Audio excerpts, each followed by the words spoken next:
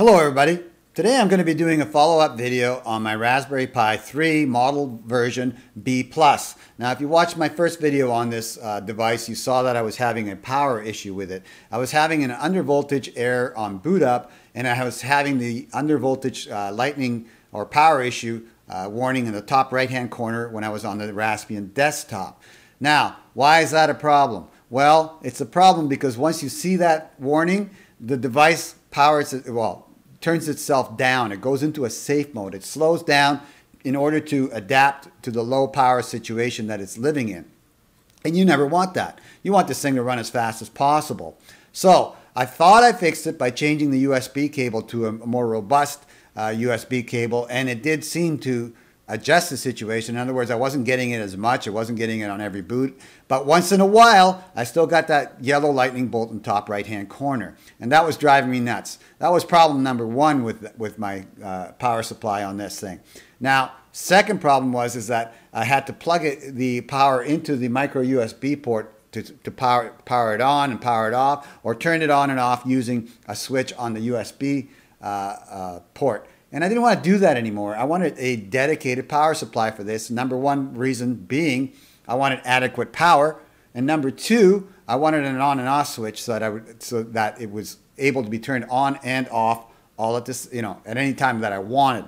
Now, what I came up with for a solution is this uh, popular power supply. I got this one from Amazon. This is a Northpada AC adapter, and I bought it for under $10 on Amazon. Now, I understand prices is subject to change, so it may change in price, but I will link it in the video description below and the buyer I bought it from on Amazon. And also, uh, it's available on eBay, uh, though I have did not buy it on eBay. I will put a link for it in the video description for the people who only have access or want to buy it on eBay.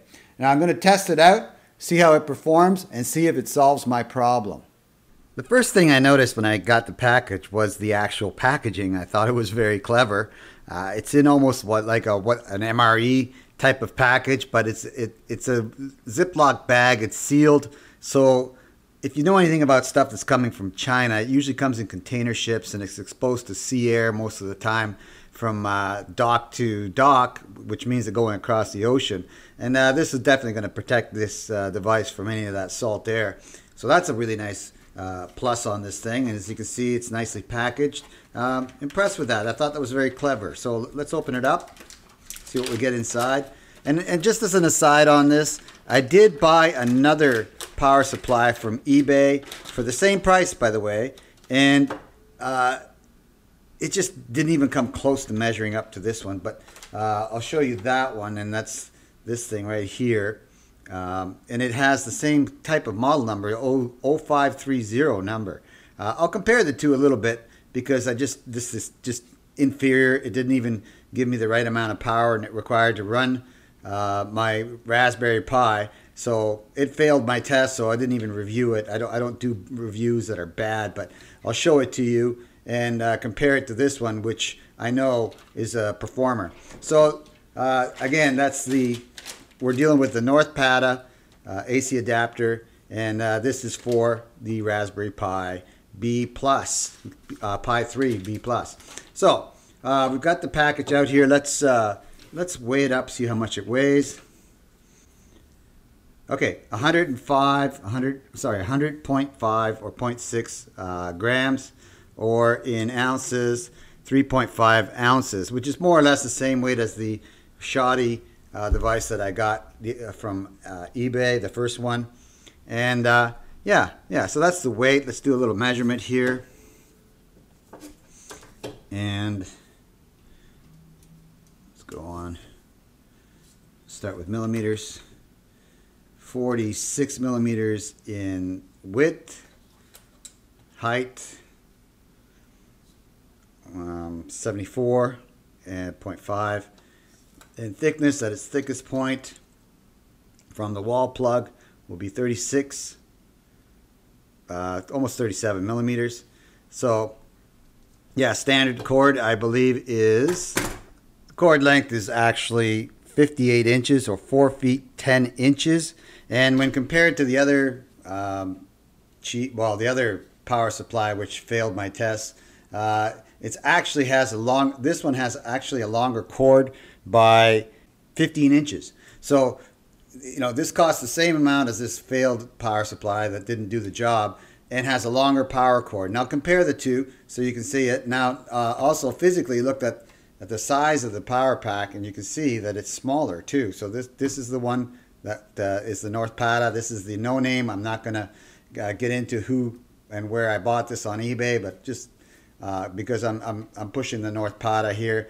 And the input is again uh, 100 to 240 volts on the Northpada. Same over here and uh, AC up to and then 3 amp output at 50 or 60 hertz. Uh, same exact uh, outputs. Everything is the same, uh, except that they're not physically the same, as you can see. And this one here sucks compared to the Northpada, which did, uh, you know, which I've already tested, but worked great. And I'll show you all that in a minute. But again, physically bigger. This one, the, the failure. Uh, cord is longer on the Northpada than the one on this one. And I'll show you some more physical differences here. As you can see the size difference. And, uh, you know, it's, it's just better. So uh, there's one difference. A cord, the cords are, are another difference, as you know, or just stated. The, this cord is uh, 15 inches longer than this one.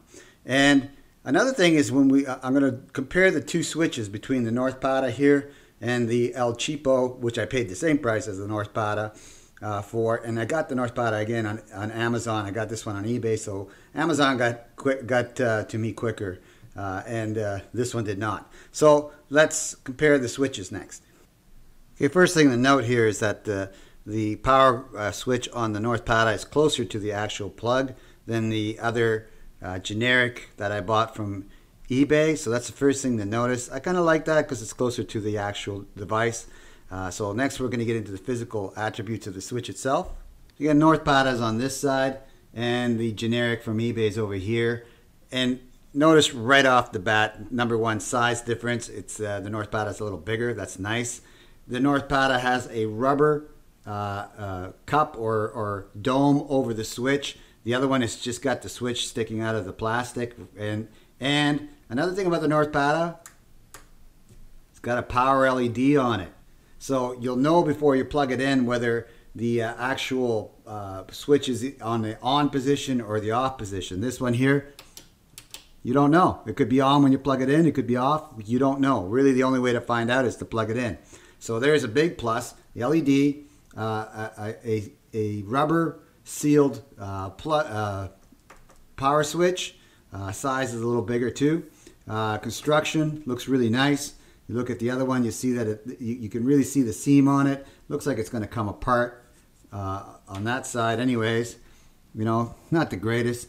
The, just all the way around, the Northpada is just a better looking switch. And uh, yeah, it's cl a clicky type of switch. Both are. You can hear them. And Northpada, again, has that big plus with the LED. So it beats it on the LED. So all the way around, a better uh, switch. So I like that. Next, we're going to plug it into the uh, Raspberry Pi and we're going to test it out. I want to show you quickly how I have my meter connected to the Raspberry Pi so that we get a true internal voltage uh, of the Raspberry Pi. And what I've got is I've got two leads connected to the GPIO header or connector, which has uh, 5 volts and ground coming out of it. Actually has two 5 uh, volt pins on it, uh, 2 and 4. And uh, I currently have a fan connected to the pin 4 and the ground beside it. So I connected to pin 2 with the positive, uh, and put that to my meter. And I connected to pin 39, which is a ground uh, on the GPIO. And uh, that's to the negative, of course. And what I'm going to do is power this up and show you what's going on in the meter while it's powered up. Uh, but currently, I just wanted to show you that. And I'll, I'll zoom in here a little closer so you can see what's going on. So uh, yeah, once again, pin 2, positive 5 volts. Pin 39, negative, uh, or ground. And that's going to be uh, hooked up straight to my meter. So next thing we're going to do is power this up. And I'll show you the boot process and uh, look for that little lightning bolt and uh, see if we get it or we don't. And I'll show you the, the meter readings while that is happening. I wanted to start from the desktop and you can see currently that we're at 5.35.36 volts and running nicely. No lightning bolt on the top right hand corner. And the reason I started here is I wanted to do a whole reboot and capture it all so that you can see that I don't get a lightning bolt all the way through. So let's do that. Let's go through the reboot process here. Go to the Raspberry button and uh, shut down. And I'm just going to hit reboot. There we go. And we go through the process of rebooting. And you can see the voltage varying here. Now, I will put links to this stuff in the video description below. There's the boot screen, the primary one. Uh, um, you know, for all this stuff in the video description below, including the meter, uh, so that you guys can get them from where I got them, know, from the sellers that I got them from. And you can see it's booting just fine. No lightning bolt anywhere. Everything's cool. Uh, I don't see any errors. There we go. Straight back to the desktop. Still at 5.35, 5.32, oh, 29. So it went down a little bit there on the boot process, but no big deal. I'm well well above five. And again, the uh, device has not noticed that there's anything wrong or any power issue. So let's start putting a load on it. Now, first thing I'm going to do here is um, open up a, well, actually, let me show you the pinout uh, command. Pretty neat, handy thing to know about. Uh, you saw that GPIO port over here with all the pins. And uh, if you open up your command line terminal here, I'm clicking that open. And we're going to have to stretch it out a bit here, so I'll do that. There we go. And in the command line, if you type in pin out, pin out, you'll get a graphic of all the pins. So there you have all the pinouts and where they correspond. And of course, I, I'm connected to pin 2 and pin 39 ground and 5 volts. That's how I'm getting the voltage off the, the actual device. So we'll just minimize this out of the way. Uh, actually, well, we'll leave that there for now. Uh, let's uh, start putting a load on it. Let's, uh, um, hmm, what shall we do? Let's open up the browser. See if that does anything to the voltage. Doesn't look like it's really pushing it. There we go. Let's do a restore. And in the restore, you'll probably get a video of me here. So I'm going to mute that so we don't get any there we go. So there I am, a video on YouTube running on the desktop. Uh, mine, of course, so we don't get into any copyright issues. Again, voltage 5.32 there. And let's open up. Oh, okay. I have a program I'm going to run which uh, maxes out the CPU. And you can see the CPU running here in the top right hand corner on that little meter.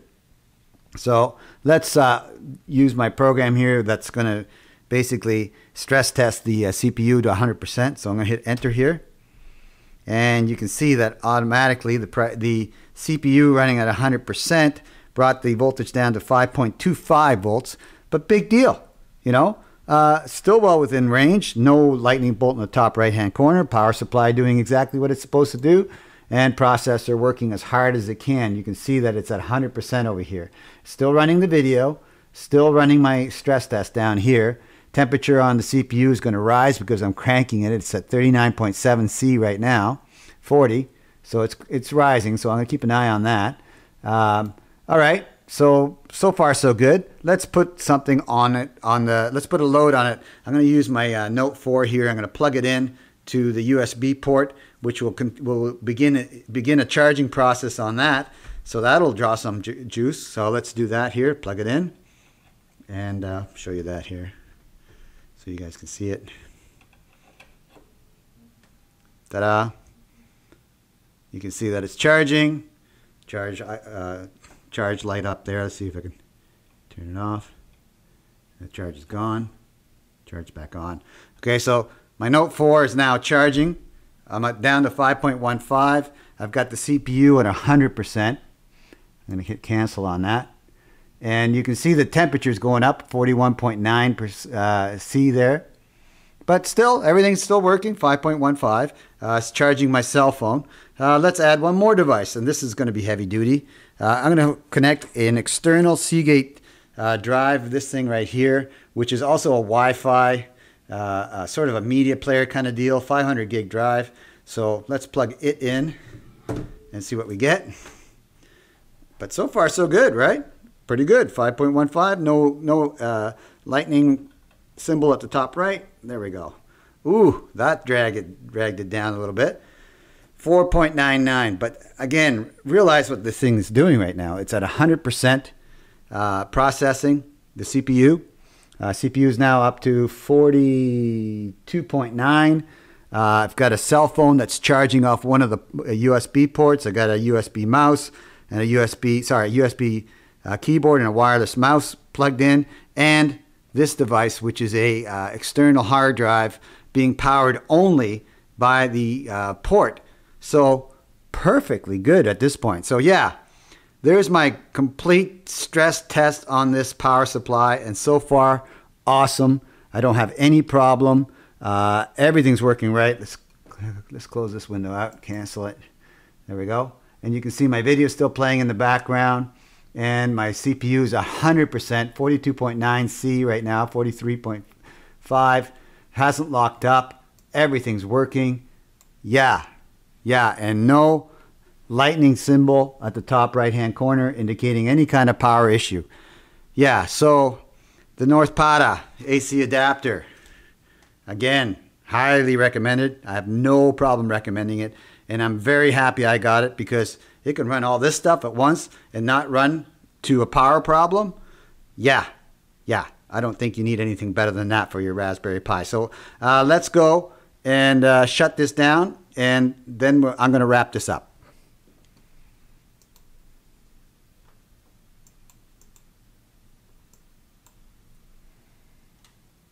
That's it for my video on the Northpada AC adapter for the Raspberry Pi 3 Model B+. Plus. Seriously impressed with this uh, power supply. Can't recommend it enough. Uh, basically, it's still running right now and amazing. I had it at 100% CPU with the uh, Note 4 now. By the way, that Note 4 uh, cell phone has a 10,000 milliamp hour cell that it's charging at the same time. Uh, the external hard drive I used has a battery built into it because it's a media playing device and a computer and a Wi-Fi interface as well as a hard drive itself that it's running at the same time. And this thing managed to run all that at 100% CPU load without any problem whatsoever. Never saw the lightning bolt uh, error in the top right hand corner of the screen and it continues to work to this moment uh, just like I loaded it. So yeah, can't recommend this enough for the Raspberry Pi uh, 3, and I'll put links to it in the video description below for everybody so you can buy it from the same sellers that I bought it from, okay? That's it for my video. If you liked this video and it helped you out in some way, do me a huge favor and click on the like button in the bottom right hand corner and give me a big thumbs up. That helps my channel, it helps my video, and I greatly appreciate it. Also, up here in the top right hand corner, you should see a picture of me. That picture is a subscription link. If you click on that and uh, you'll be subscribed to my channel, number one. Number two, part of the process of, of, subscribing to my channel will be the option to click the bell icon. And if you click on the bell icon, you'll be notified every time I put up new content on YouTube, and then you can watch it at your own leisure. Once again, and like always, I want to thank you for watching. I want to thank you for your time and for your support.